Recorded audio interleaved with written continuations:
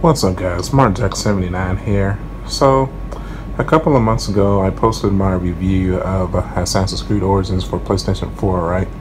And during that review I mentioned that uh, one of my critiques was I was unable to uh, find all of the side quests and you know the question marks and whatnot that appear on the map to uh, complete the uh, game so you can 100% it and get the platinum.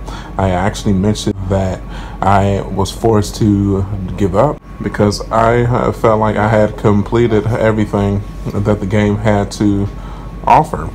And so, you know, I uh, downloaded the uh, the Hidden Ones DLC.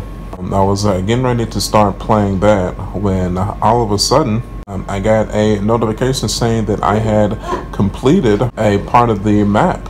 And uh, right after that, the last trophy that I needed to complete uh, popped out and I acquired the platinum trophy.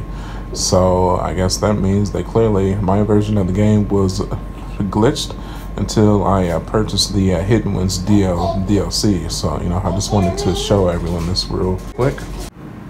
So right exactly here. Yeah right right, after this notification popped up uh, the last trophy that I needed popped and the platinum trophy, trophy popped. I'll show it right now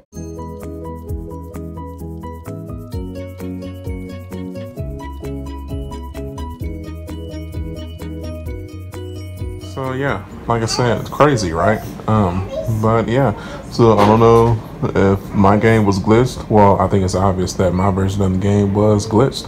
So clearly I, I had completed everything that needed to be completed and the game did not recognize it until I had purchased the, the DLC, the uh, hidden ones. So if you're in this same boat and if you want the platinum trophy, just uh, buy the DLC, I guess, and uh, or at least attempt to uh, open your game again and maybe hopefully a patch came in and the Puffy will Trump will put the prop for you.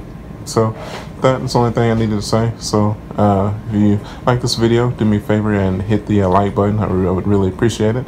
And if you want to support the channel, uh, you can follow me at youtube.com slash marcjack79 and facebook.com slash marcjack79. And until then, I'll see you guys on the next one. Catch you later. Bye.